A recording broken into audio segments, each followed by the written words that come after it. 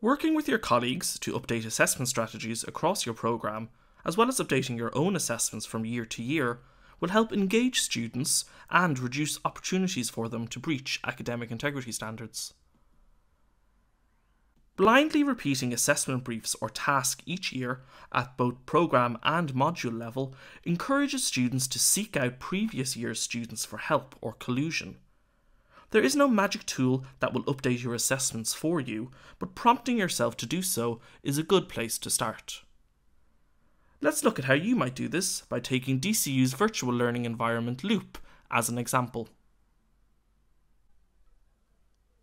Oftentimes, lecturers will bulk import the content from last year's Loop course into the course for the new academic year, including the module assessment details. By deselecting the module assessment details during the importing process, it will help to prompt yourself to revisit the assessment strategy for the module for the upcoming year. Let's look at a sample loop course from a previous academic year. Here we can see an assignment activity was configured and a document detailed what students needed to do for this assessment. Looking at the document itself, we can see it has been in use for several years. Even if the year was changed on the document each time, students would still know it was being reused by talking to other students from previous years. The best approach to take is always to update your assessment. Perhaps expand a topic by connecting it to a contemporary or recent development. This links to Principle 6. Or allow students to decide what topic they wish to tackle for the assessment. This links to Principle 10. Now let's look at the importing process on Loop. From your new empty Loop course for the upcoming academic year, click Import in the Administration block. A list of courses appears.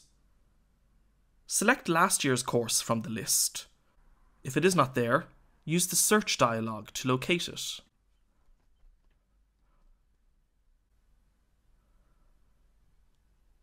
Click Continue. You need to define your import settings.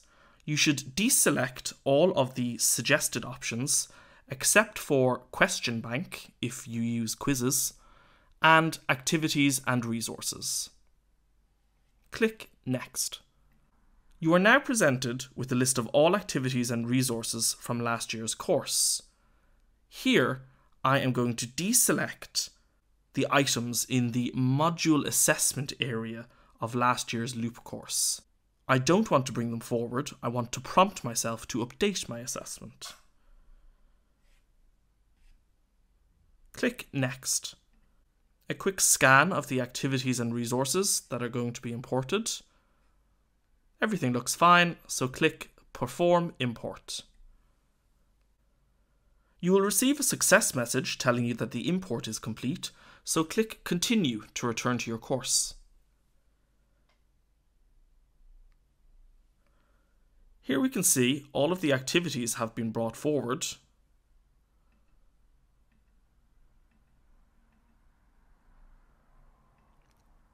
However, the module assessment details have not been brought forward. Now I know I need to go and update it before making it available to this year's students.